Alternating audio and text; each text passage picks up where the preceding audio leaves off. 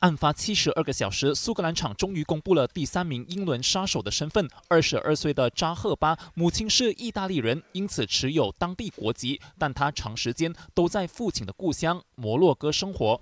扎赫巴母亲的邻居形容这名青年看起来非常良善，不像是会发动袭击的人。但意大利情报单位的说法就大为不同了。当局2016年在博洛尼亚机场拦截了相信是要前往叙利亚的扎赫巴，当时他身上带了和伊斯兰神权国恐怖组织有关的资料，还说要当恐怖分子。当局马上禁止他出境。而他去年移居英国时，意大利已经通报对方，但英国警方。和军情五处都没有怀疑过扎赫巴。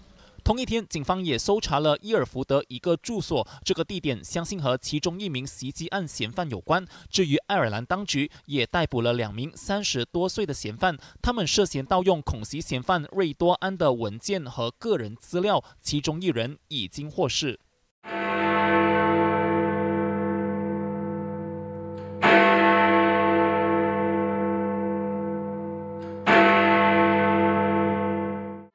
就在调查人员忙得喘不过气的时候，星期二上午十一点，整个英国都停了下来，默哀一分钟，纪念伦敦恐袭的死伤者。